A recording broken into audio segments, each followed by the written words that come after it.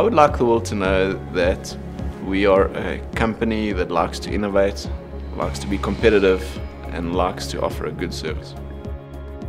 Steel Services services the mining market and we are trying more to get into the commercial industry to widen our scope so that uh, the more work that comes out we can offer more of a service to a wide range of clients. We're very proud of the, the two headgear structures that we've built up in Zambia and it kind of put us on, onto the map if you like. Um, and it's also our first step into to getting into Africa, so that, that's quite an important uh, move for us. Uh, now headgear is a big steel structure that gets installed in a mining environment and it ranges between 1,000 and 2,000 tons of steelwork. So with the margins for error are not, not very big. Um, so we had to really make sure our quality was great, we had to make sure the accuracy and the Peddinghaus equipment certainly helped us to produce a really good quality product in time. We knew that if we invested in CNC equipment, you know, we can better control your, your output and your capacity. The Peddinghaus machine has played a critical role in a good couple of projects and it's taken us from uh, doing things uh, through Boilermakers very slowly to speeding up the process tenfold. Um, and each one of the machines has played a critical part in uh, getting us to the next level of production.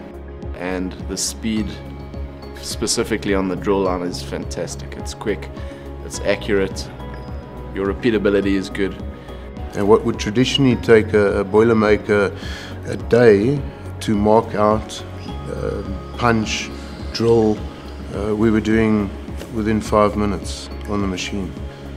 The plate line, I would say, is one of the most reliable machines. We kind of feel bad for working those machines so hard. It's it's crazy how hard we work the Peddinghaus machinery. Um, and I guess that comes back to the quality of those machines being so robust and so strong. You know, they really can just continue and, and chug on and on and on and on. And we know that we have peace of mind with that specific plate line. The machines must produce 24 hours a day. The more maintenance and, and time we put into them, the more they can contribute to that, to that goal.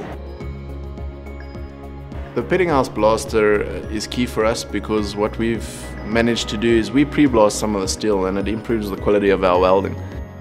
You know, one month I'll sit and go, wow, how would I do without, how would I manage without that drill on? And then the next month I'll go, gee, how would I manage without that angler? And, and then the next month I'll go, gosh, what a great decision we did to buy that plate line. You know, so uh, they're all equally reliable and equally important to us. We see steel services continuing to grow. We think there's a big future with the team that we have and in partnership with the Peddinghaus team so that when times are tough we can see ourselves through those times.